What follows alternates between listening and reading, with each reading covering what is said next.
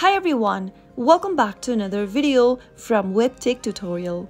In today's episode, I'm going to be showing you how to forward emails in Yahoo Mail application. So the first thing to do is to launch open your Yahoo Mail application from your app drawer and make sure to log into your account as well. Once you do that, select an email you would like to forward from the inbox. Tap on the email to open it up. Now tap on the three dots where it says more at the bottom right hand corner and tap on forward in the expanded menu. Enter the recipient's email address in the to fields. After you are done, you can also add multiple recipient by separating their addresses with commas. Optionally, add a subject line or compose a message to accompany the forwarded email. After you are done with everything, tap on send at the top right hand corner and you have now successfully forwarded an email to one of your recipient on Yahoo Mail. So that's how you can easily do it.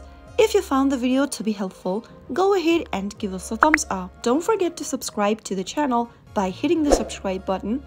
Also press the bell icon so that you'll never miss another upcoming upload from us. I will see you again in the next episode.